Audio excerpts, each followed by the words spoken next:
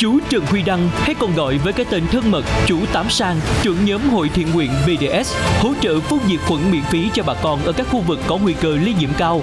Và ngày hôm nay, tại khoảnh khắc cuộc đời, hãy cùng lắng nghe những chia sẻ của chú cùng người kết nối nghệ sĩ ưu tú Vũ Thành Vinh. Xin mời.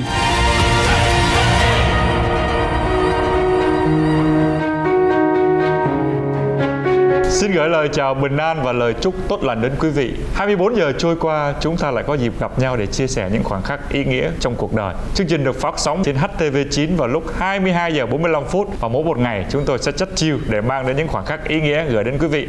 Và ngày hôm nay có một khoảnh khắc đặc biệt sẽ gửi đến quý vị. Xin chào anh Tám Sang ạ. Dạ chào anh Vinh cũng như là chào tất cả quý vị à, khán giả đang xem đài. Thường vào cái mùa dịch như vậy thì một ngày của anh Sang diễn ra thế nào ạ? Trong cái mùa dịch này mỗi một ngày thật sự rất là nhiều việc căng thẳng về cái vấn đề mà mình sắp xếp ờ, cái công việc riêng của mình, rồi sắp xếp về cái vấn đề mà mình ờ, hỗ trợ cho các ban ngành tiến đầu để làm sao mà mình hỗ trợ cho người dân kịp thời và nhanh nhất có thể. Quý vị để ý thì trong những ngày vừa qua thì chúng ta đã nghe nhiều thông tin về anh Tám Sang. Anh cùng gọi là có một biệt đội khử khuẩn mà anh tự, bỏ tiền ra rồi anh kêu gọi anh em cùng đi để chỗ nào cần và biệt đội tới. Em thấy những hình ảnh đó giữa trưa nắng rồi những vất vả, phải nói là rất là phục. Thế thì ờ, được lấy một khoảng khắc để kể cho quý vị nghe thì anh Sang sẽ lấy khoảng khắc nào ra ạ? Đó là cái khoảng khắc giữa cái cốt lõi của con người trước kia của mình á không tốt. Rồi sau đó mình thất bại, mình trắng tay nhà cửa xe cộ bán hết. Rồi lúc đó mới đi vô chùa. Ồ, oh, cái này thì ít có người biết nhưng tại sao anh lại chọn khoảnh khắc đó để để nói ạ? Dạ thì à, đó là cái khoảnh khắc mà nó thay đổi lại cái cuộc đời mình. Dạ. Nó cho mình được làm người, cho mình được sửa sai. Em thấy cái khoảnh khắc thì nhiều người thì hay lựa cái khoảnh khắc mà mình thành công nhất nhưng có khi có những người tới đây họ kể cái khoảnh khắc mà thay đổi mà trước đó họ tưởng đâu là họ không thể nào mà đứng lên được có thể gọi là trượt dài luôn á. Dạ đúng rồi. Thời điểm đó thì à, khi mình à, được tha bổng quay trở về với xã hội rồi, do mình tiếp tục làm ăn, hay làm ăn thì xưa kia thì mình làm ăn nói chung là nó cũng không có tốt, tất cả mọi thứ đều nó trắng tay. Thì mình mới đi vô trong chùa, thì gặp cái vị hòa thượng là cái vị thầy của mình luôn. Tới giờ là người cho mình hiểu được những bài pháp trong cái giáo lý của đức phật. Chính nhờ ngài cho mình những cái bài giảng về phật pháp. Rồi từ đó mình nghe và mình thấu hiểu. Rồi mình nhìn lại cái cuộc đời mình bao nhiêu năm mình đi, mình làm được cái gì cho bản thân mình, làm được gì cho gia đình và làm được gì cho xã hội. Lúc đó mình mới quyết định từ bỏ hết tất cả. Phải nói là cảm ơn cái khoảnh khắc đó đúng không anh? Để mình nhận ra được cái điều đó và không chỉ là mình quay trở lại mà mình còn làm rất nhiều điều có ích. Em có theo dõi anh ở trên những cái nền tảng youtube hay là trên báo thì được biết rằng mấy ngày nay thì người ta nhắc nhiều đến cái biệt đội khử khuẩn của anh. Nhưng mà trước đó anh đã làm rất nhiều việc thiện nguyện. Có phải từ sau cái giây phút anh nhận ra được rằng mình phải làm một cái gì đó cho xã hội nên đã quyết tâm? Lúc đó mình ngộ ra để mà mình uh, sống cho nó tốt thì việc đầu tiên đó là mình ở lại trong chùa mình làm công rõ quả mình à, phục vụ những cái công tác phật sự. Sau đó thì mình về cũng vẫn là tự động cái nhân viên mình gieo cái nhân lành rồi à, cái à, cuộc sống của mình, những cái việc làm ăn nó ổn lại. Có những người bạn mà phật tử mà chơi chung từ nhỏ tới lớn, thì những người đó bắt đầu mình rủ mình đi làm từ thiện. Thì khi mà mình đi làm từ thiện, mình lần đầu tiên mình giúp được ai đó, mình trao một cái món đồ đó, mình tặng cho họ mà hàng hàng nước mắt mình rơi. Thì bằng tất cả những cái đồng tiền túi của mình và bằng công sức mình lặn lội đến vùng sâu vùng xa để mà mình giúp cho người ta. Thì mình thấy cái cuộc sống này nó có giá trị khi chúng ta có cái sự chia sẻ và yêu thương lẫn nhau. Khi mà anh cho những người khó khăn mà tận tay anh tới anh đã rơi nước mắt. Dạ. Yeah. và từ đó giờ đi hình như là mỗi ngày anh làm nhiều hơn điều đó. Tính cho tới uh, thời điểm này thì uh, cũng hơn 10 năm rồi.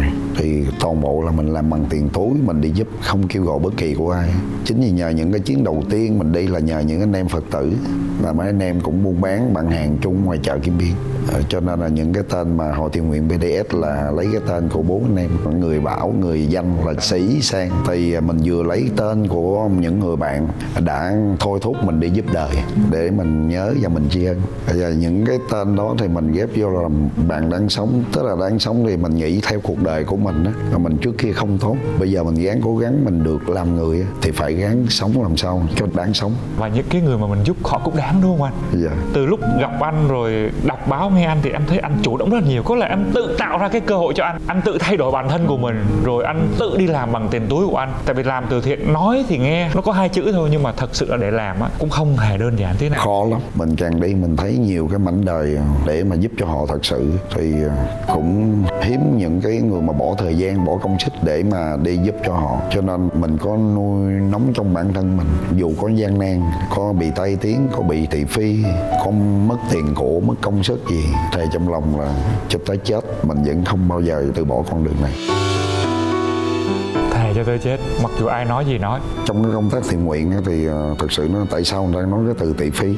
Thì có rất nhiều ờ, những cái cuộc làm từ thiện làm minh bạch và làm không minh bạch. Đâu đó cũng còn một số người họ làm họ không có mà đặt cái tâm vào cái công việc và đâm ra ảnh hưởng tới cái vấn đề con đường từ thiện và ảnh hưởng tới tiếng gặp thị phi chứ bản chất của nó là quá tốt. Bản chất của nó để mà chúng ta kết nối để chia sẻ những cái trái tim nhân ái nhiều người biết đến để mà giúp đỡ. Vậy theo anh á cái cần nhất của cái người làm từ thiện là gì? Cái cần nhất thì đối với em thực sự ra mà nói mà kêu mà em chỉ lại cho một ai đó thì em không có đủ bản lãnh chỉ. Em chỉ nói riêng về cái bản thân của em. Thì em gắng cố gắng làm sao đặt hết cái tâm huyết mình vô làm. Kể cả xương máu tính mạng mình ra để mà giúp cho người đó sống. Rất nhiều trường hợp mình thật sự ra, mình chỉ còn đếm tích tắc bằng dây nữa là mình chết á. Mình buông tay á trong cái lúc mà đi làm á anh chính xác. Trọng những cái như là lũ lụt miền Trung. Tôi nhiều lần mém chết lắm rồi. Một ngày anh có nghĩ đi tụi tôi ngâm mình ở dưới nước là mười mấy tiếng đồng hồ. Đội ngũ tụi tôi về xông vào cái vùng bão. Mà lúc đó là căn bão đang vô mà chúng tôi vô để mà tìm người để mà cứu. Những cái đứa bé những con người bồng đem ra khỏi vùng lũ đem vô vô được đất liền. Mà bưng vô chúng tôi khóc. Nhưng mà em hỏi nè bây giờ anh nói anh không màng anh có thể đổi cả tính mạng. Nhưng những người thân của anh họ nghĩ sao ạ? Anh có khi nào đọc được cái ý nghĩ mà họ lo cho anh không? Có chứ. Thậm chí ờ, vợ con lo thời điểm nó đặt vé máy bay đi tìm nhà mình cho bằng được tìm năn nỉ kêu về. Thì cái tình trạng là đọc trên thông tin đồ nó quá nguy hiểm. Rồi ở nhà vợ xem mình qua những cái màn ảnh ờ, bà ngồi bà khóc có cảm giác rằng anh cũng chia sẻ với những nỗi lo đó của chị chứ hả? Có chứ nhưng mà bà xã thì bà cái tính bà cũng biết cái tính của em liều mạng từ xưa tới giờ. Nói chung là mà khi mà giúp một ai đó vợ em cũng biết là em không bao giờ bỏ cuộc giúp cho nó hoàn thành cái sứ mệnh. Chúng ta xem một số hình ảnh ờ, biệt đội của anh tám ạ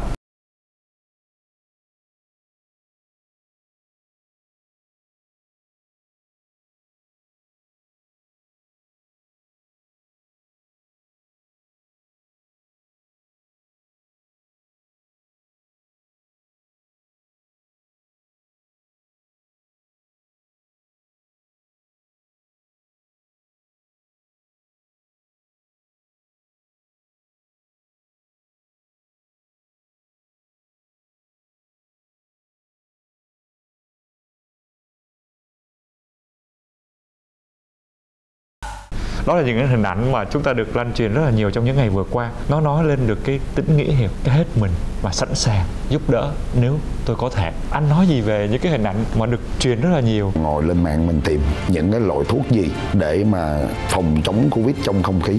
Mình tìm mất hai ngày, rồi bắt đầu tìm những cái máy nào tốt nhất. Đó, những loại thuốc đó được bộ y tế của nhà nước mình công nhận hay không.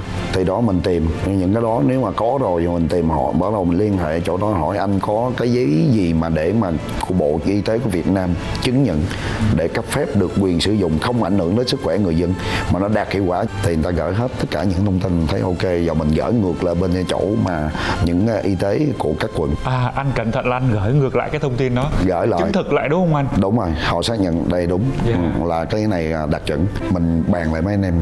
Nghiên cứu những cái máy nào đeo được lên trên trên người chịu cực chịu khó đi bộ len lỏi vô những cái hốc những cái số xịn đó để mình phun. Thì may ra những cái bầu không khí nơi nào mình đi rồi thì nó sẽ giữ sạch trong vòng 14 ngày. Em thấy cái cách của anh làm là anh đều đều có cái suy luận và tính toán rất là kỹ. Thứ nhất là nó phải là cái mà đang cần hết mà chưa đáp ứng được. Thứ hai là anh cũng về khoa học chứ không phải muốn làm gì làm. Nhưng mà trong công việc vừa rồi thì cái mức độ nguy hiểm là có thật. Anh có khi nào nghĩ rằng nó có những cái, gọi là những cái xác suất không may nó xảy đến không anh? Dạ đúng. Lúc nào mình cũng có suy nghĩ về cái vấn đề đó. Thì nếu như mà suy nghĩ tới vấn đề đó mà mình lo sợ thì mình làm cái nghề khí của mình nó bị xuống thấp. Mình khó lòng mà mình đi phục vụ việc này. Rồi xong sau đó mấy anh em ngồi, hỏi tiếp nữa không? Ngồi bằng luận bây giờ người dân, người ta thở thôi thóp không lẽ giờ mình còn nhiều hơi thở, mình sợ chết, mình không đi giúp người ta. Thì mấy anh em đã nhiều lần để mà ngồi với nhau, chọn cái con đường này là không còn để mà sợ chết nữa. Miễn sao mà mình cứu được một ai đó thì là cảm thấy hạnh phúc rồi. Không phải là mình muốn đánh bóng tên tuổi.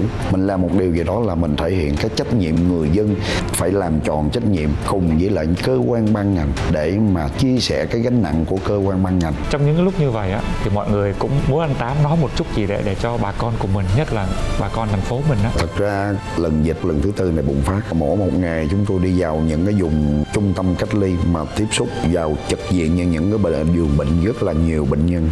Vì mình vô trong đó à, mình thấy cái cảnh của bà con nằm cách ly trong đó à, thì mình rất là đau lòng. Nhưng cái ở đây là chúng ta phải hết sức bình tĩnh, không được hoang mang. Việc gì mà ở bên ban ngành chính phủ đưa cái nghị định ra, chúng ta nên chấp hành nghiêm thì việc mà chúng ta chấp hành nghiêm là cái việc đó chúng ta cùng với cơ quan ban ngành để mà chống dịch rồi và đồng thời khuyến cáo tất cả bà con trong cái thời điểm này nó, nó gây khó khăn về vấn đề mà kinh tế làm ăn chúng ta đừng nên hoang mang nó yên ngắn là chúng ta trở lại làm bình thường thì cuộc sống nó yên ổn hơn là ngay lúc này nếu như mà chúng ta không chấp hành những cái nghị định đó của cơ quan ban ngành chúng ta cãi chúng ta nhào ra chúng ta làm thì lúc đó dù đồng tiền đó chúng ta kiếm được nhưng sinh mạng của chúng ta không thể nào chúng ta kiếm lại được mà chúng ta lại làm một cái cái việc mà chúng ta là đem những cái mầm móng bệnh lây lan cho cả cộng đồng gây hại đến những người khác. Tốt nhất chúng ta chia sẻ yêu thương với nhau là chúng ta ngồi tại nhà. Ngồi ở nhà cũng là yêu nước ấy dạ đúng rồi. Thực ra trong tình hình như vậy thì chúng ta đúng là chấp hành nghiêm chỉnh và khó khăn rồi sẽ đi qua. Em cảm ơn anh tám rất là nhiều ngày hôm nay chia sẻ với anh thì em hiểu rất là nhiều điều. Anh mang lại một cái khoảnh khắc rất là đẹp và cuộc đời cần những cái tấm lòng như anh. Và tôi rất là thích cái câu mà anh tám nói anh sẽ làm đến hơi thở cuối cùng. Đó là sứ mạng và cái cách của anh. Anh muốn làm điều đó và cái tâm anh đã chỉ đường cho anh đi. Và ngày hôm nay chúng ta có một khoảnh khắc đẹp. Cảm ơn anh. Chúc anh sức khỏe thật là nhiều. Và tiếp tục làm những cái điều mà anh cảm thấy là có ích cho cộng đồng. Dạ em cũng à, cảm ơn anh Vinh. Và một lần nữa chúng tôi những người làm chương trình cảm ơn quý vị khán giả. Chúc quý vị bình an và thật nhiều sức khỏe. Cảm ơn quý vị đã luôn yêu thương chương trình và đón xem chúng tôi vào mỗi một ngày trên HTV9 vào lúc 22 giờ 45 phút. Còn bây giờ xin chào và hẹn gặp lại